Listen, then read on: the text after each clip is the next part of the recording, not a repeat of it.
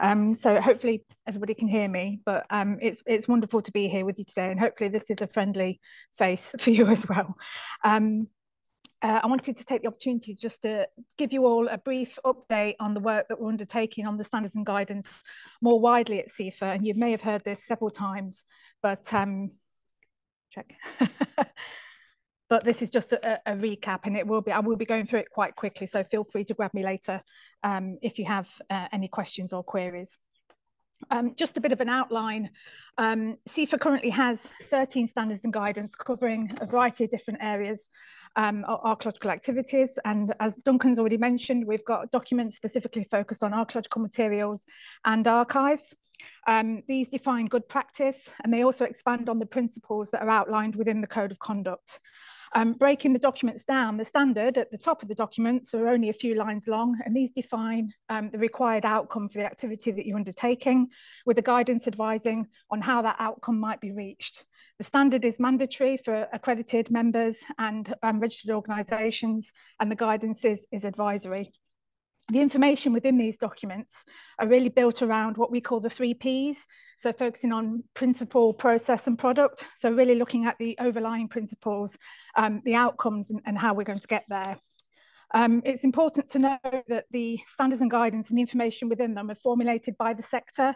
Um, we consult with specialists, we consult with special interest groups, and the information is heavily consulted on as well. So it's not just me or other CIFA members and staff writing these independently. They are consulted on widely, and they're based on current understanding of good practice. Um, they're used when commissioning and designing archaeological works. Um, they provide um, project stakeholders with assurance of, of, work being undertaken to a consistent um, format.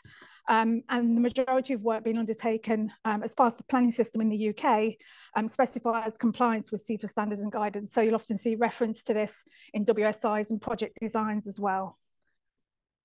Um, the standard and guidance documents need to respond to change and expectations, and these may um, stem from innovations or changes in uh, legislation or policy or just evolving practice. Um, and this is where we've we've come a bit stuck at the moment, as, as you'll acknowledge, um, the information out there is, is out of date um, for the most part, not all of them, but um, definitely some of the older documents. The last significant update was undertaken in 2014 when we were chartered, but there have been some more minor updates recently, and I've just highlighted the two more significant ones um, that came out of the archive selection toolkit project and dig digital as well so we added uh, information into the guidance focusing on um, the need for selection strategies and data management plans. And that really shows this cycle of um, recommendations that come out of projects that then get fed into the, the guidance and then become expected practice and then the cycle carries on. And so that's why it's really important to um, continue having these collaborative projects um, uh, between the groups. Um, and just to say that we're not changing everything. So um, the standards and guidance, you know, they've been around a long time. They represent a robust infrastructure, but we do acknowledge that they are um, in need of a review and update. Um, so the current structure, this is what you'll be used to. So if you go online now, you'll open up a standard and guidance PDF document and the standard and the guidance appear together in that document. They all still sit under the code of conduct and they're supported by other documents within our regulatory framework. So policy statements and practice papers, and then the fabulous toolkit series we have and other resources on the website. Um, the most um, or the majority of the changes that you'll see with the new structure coming out is to how we're organising the guidance. Um, so this will be the new structure when it's launched later this year. Um, so this is, you can't see right at the top, but this is the regulatory framework. So everything still sits under the code of conduct, but we're separating the standards away from the guidance. So the standards will be sitting separately and the guidance is going to be split into two tiers. Um, using tiers, it doesn't mean that one's any more important than the other. That's, that's just the terminology we've been using in-house. Um, so we'll have universal um, clauses using more generic language. So we're not referring to any specific jurisdiction within those clauses. And then we'll have um, a section um, on detailed or specific guidance related to undertaking work in a specific jurisdiction. And I think the majority of the information we'll be talking about today would fit into, fit into that category. And again, these are all supported by the other resources that we have. Um, so why are we doing this? Um, uh, this is where, well, in terms of starting with the UK, this is where most of our members are based. Um, I haven't done recent recent numbers, but still the majority, 98% of our members are based in the UK. Um, uh, and we need to acknowledge that since many of the original standards and guidance documents were published, especially the fieldwork documents, which I think are some of the earliest, uh, in addition to the finds one as well, I've heard, um, archaeological practice has changed across the four nations and planning regimes have devolved. Um, this has meant that the application of guidance has become problematic or difficult in some areas. Um, and also um, a lot of the documents have an Anglo-centric focus.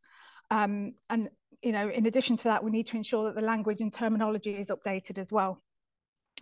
Um, however, that said, awareness and recognition of CIFA beyond the UK is growing alongside increases in accreditation, both individual members and also organisations. In the last couple of years, we've had a German registered organisation um, and we've got more to come as well. Um, in addition to the fact we've had um, a registered organisation um, in the Republic of Ireland for years now as well. Um, this is why, as a professional body representing archaeologists both in the UK and overseas, we need to ensure that the standards and guidance has a universal focus um, that's supported by jurisdiction-specific guidance. Um, and that's easy to say, um, but it's by no means a straightforward process and it's going to take time. Um, we need to consider how guidance in different jurisdictions aligns with the CIFA framework and how to approach things if they don't. Um, we've started this process already by undertaking a project looking at the alignment of guidance in Northern Ireland funded by the Historic Environment Division and Rhonda will be speaking later about um, some of the work um, associated with that. Um, and the information from this will help us see how we might be able to apply the same process for the jurisdictions, but then again, the same process might not work. So it's, um, it's, it's going to be a long road, but hopefully a useful one. Um, and we're also fortunate to have the support of colleagues and experts in our special interest groups um, with our area groups established in Australia, Germany, and then our international practice group. Um, just to highlight, um, of those 2%, we've got members based in the following 16 um, uh, countries and jurisdictions. Um, however, this is only the tip of the iceberg if you consider where um, archaeologists are actually working, um, you know, as opposed to where they're, they're based. So this list would be a lot longer um, if we look at those stats as well. So again, emphasising the importance of moving towards more global standards um, supported by universal guidance. Um, so just briefly, what have we been doing? Supporting this process um, a few years back now, because this has been ongoing for a while. Um, we set up the Professional Standards Advisory Panel. Um, there's several people from um, both finds and archives involved in this process. So they've been helping us to support the UK updates um, and we'll be widening that out as we move through different jurisdictions as well. The fieldwork standards and guidance hopefully you'll have seen the consultation that came out earlier this year. Um, they're now ready.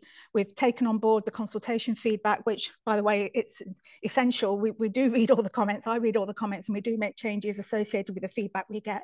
So if you see a consultation, please do respond to it. Um, so they're coming out before the end of the year. And this is just the, the standards and the tier one guidance. The next stage, linking all the jurisdiction guidance is coming next. Um, in addition to that, we've involved in several collaborations. So I've already mentioned the um, project we undertook with HED, um, and Duncan's already mentioned the, the HE funded toolkit series, and I know Peter will be talking later about the Roman coinage toolkit. Um, and these have been uh, proved to be a fantastic delivery vehicle for delivery of good practice guidance, um, supporting the standards and guidance. Um, and then we're involved in several other things, wider strategies, 21st century challenges for archaeology, which is England focused, Archaeology 2030 in Northern Ireland, and the Scotland's um, archaeology strategy. So all of these involve standards and guidance. So there's a lot of information coming um, from different quarters. Um, so just finally then, just to sum up um, what's next. So say this has been a really quick um, run through of what we're doing. So feel free to contact me or grab me at tea break. But um, as I say, we're launching the fieldwork documents later this year. Um, we'll be starting the process with the other documents. Um, I'm spinning plates at the minute because it's only really me doing this. So there are several things going on at once, but I'm hoping to start discussions with the Finds and Archives Committee next year um, looking at the initial process of what needs updating um, and, and, what we can do so we can work together initially on that. And I say, just keep an eye out for consultations because I do read them um, and it is really useful. You're the experts. Um, that's why we need your help. But um, hopefully that's just been a, a, a quick overview. Thank you.